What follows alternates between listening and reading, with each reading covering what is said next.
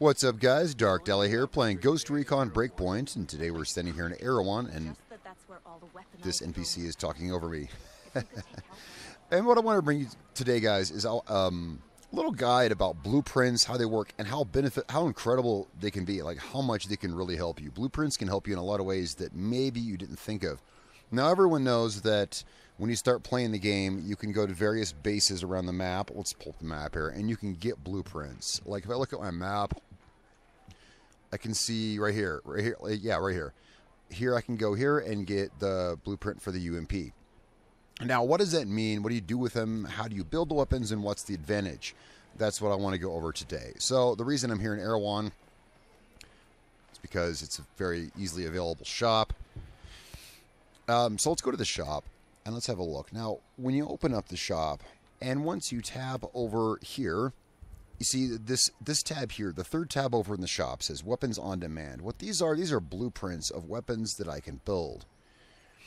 Now, there's a serious advantage to this, and we'll talk we'll talk just a couple minutes about that. What that is is let's have a look at my weapons, and then we'll go back and I'll build a weapon and, and, and kind of show you. So these NPCs, I need to get away from these. All right, guys, sorry, sorry, it's my bad. All right, so here I'm using an AUG as my it's my primary weapon. Is my well, it's my primary you know assault weapon, and then at the moment I'm I, at the moment I'm using the Scorpio. But see, the Scorpio is not my preferred sniper rifle, not by a long shot. No pun intended. And that's going to be the thing throughout this game. You see, is because it's loot based. Because you know we're talking about loot here. This Scorpio is going to get outdated well, the, well, let's look at the AUG because I like the AUG. It's going to get outdated, and I'll have to replace it with another sniper rifle. Like, it's currently level 131. Here in a few levels, I'll start picking up higher level assault rifles, and it might not be an AUG. But what if I want to keep using the AUG? What if I want to replace the Scorpio? All right, that's where blueprints come into play. Let's go back over to the shop here in Erewhon. This is the first place you'll come to. This is the main player hub here in Ghost Recon Breakpoint. And it really only takes about an hour of gameplay to get here, even if you don't know what you're doing. You'll end up here. You'll see there's a big central hub with a shop and everything. Let's go. Whoops. Here we go. Let's go back to the shop. So I don't know if I actually have the blueprints for my favorite sniper rifles, which would be the TAC-50 and the M82. Oh, I do. I have. Okay. See, I'd rather have a TAC-50 than a Scorpio. So here's what we can do.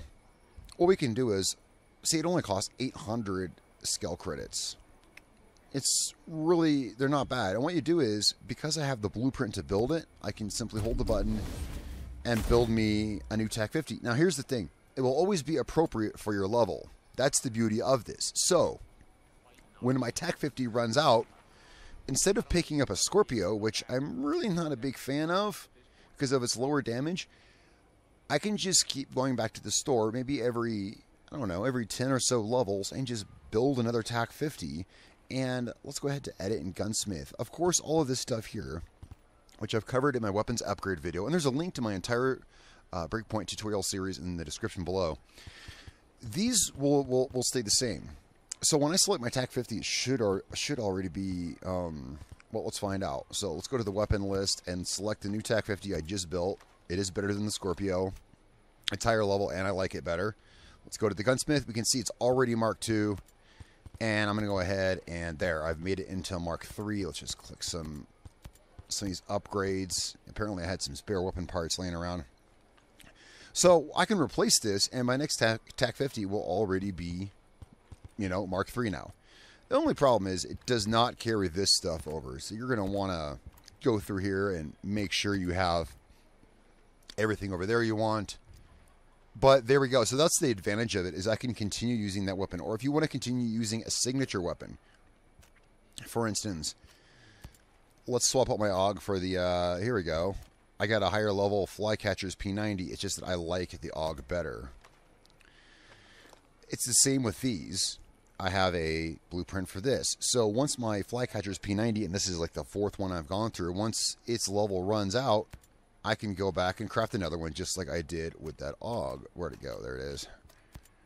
So that's really the benefit of the blueprint system. I mean, that's like the most basic way to put it. Now, you can access the shop, of course, from Bivouacs as well as here in Erewhon. And it's a great way to continue using your favorite weapon throughout the game and not constantly be forced into using a weapon you don't want to use. For instance, in my case, I really like the TAC 50. Not a fan of the Scorpio. I don't know what it is. It just, this one feels better. I really like the M82, but the recoil on it's really a, really a bear, isn't it? Uh, the TAC 50 Okay, so enough about that. So that's really the benefit of blueprints. Now, okay, so let's say I want to find a new weapon. Let's say I want to find the blueprint for the, uh, the M82. So we go to our objectives board. Now, weapons, collectibles, uh, attachments, stuff like that is all the blue stuff up here at the top. So we can click weapons, and here we get a whole list. Up here you can see assault rifles, handguns. Why am I not just using a mouse? LMGs, shotguns. You have every category up here. These are blueprints I can go get in the world. The ones that are lit up are the ones I already have. The, these ones here are the ones I don't have. See, I don't have one for the SVD, but I'm not a big fan of, of uh, DMRs. Okay, right here you can see when I click sniper rifle, the only blueprint I have is the TAC 50. That means I've not yet located the intel on where the, the M82 uh, blueprint is yet. Let's have a look at assault rifles. Which should be oh, okay. The first one. Let's say okay. So let's say I want a blueprint for. Wait, this is I don't have the blueprint for the AUG. Okay, fair enough. I was just showing you the AUG. Turns out I actually don't have the blueprint for it. It, it it's a pretty early uh, game thing, but somehow I passed it up on this character. I happen to own one of these, but I didn't build it, so I couldn't build a new one. So the next time I get an assault rifle, that's actually a, a good demonstration. So the next time I get an assault rifle, once I hit maybe level 140 or something, that all is going to be starting to get out of date, and its damage will become subpar to, to other weapons at that level. Since I don't yet have the AUG blueprint, and trust me, it's easy to get, I don't know how I missed it, but whatever. Since I don't have it, I can't build another one. So that means that once this is out leveled, I'll be forced to accept the next one, whatever it is. And then you're forced to spend more and more parts over here upgrading these. And a lot of people a lot of people become familiar with one weapon and just want to use that one weapon. And guys, this is the way to do it. And that includes signature weapons such as the flycatcher, which I showed you that I you know I have here. It's a signature weapon.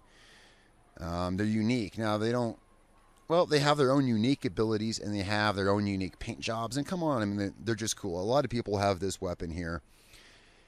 That means that once that runs out, I can simply build a new one. All right, guys, that's a pretty good over overview of blueprints and like what they're for. The main thing is that it allows you to continuously use the same weapon, but of course it costs money.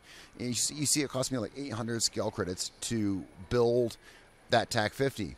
And once it gets out leveled and I want to buy another one, I'm going to have to pay that again. But it is a relatively small cost. Make sure you pick up money, and it's it is a really nominal cost. It's not a big deal, and that's how you can keep your weapons up to level, current with where you are, and you can keep using what you want to use. Now, when you build one, it's not always going to be the same quality. You see that mine was a high end quality, uh, meaning purple. It could have been blue. It I, probably could have been elite, I guess. I've never crafted an elite weapon, but I don't have enough credits to, you know, grind out weapons and see if I can get an elite one. But if you do have extra credits, that's actually not a bad idea. You can try creating the same weapon multiple times, and maybe you'll get one that's of higher quality or with abilities that you want more. For instance, this TAC 50 comes with plus 20 handling and then minus 20% technique cooldown. Maybe I want something else Maybe I want to see if I can get, and you know, this is high end. Maybe I want to see if I can get elite quality, which is the yellow class of gear you see like right here. You know, maybe I want that, you know, have better abilities and things like that. All right, guys, that's a basic overview of blueprints. Thank you so much for watching. Has been another guide to Ghost Recon Breakpoint, a pretty essential one that it took me some time to kind of really fully understand what the purpose of the, of the, blueprints was and how important it is because it allows you to keep your loadout current at all times with the same weapons. Guys, thanks so much for watching. I'm Darkdally. I will catch you guys next time.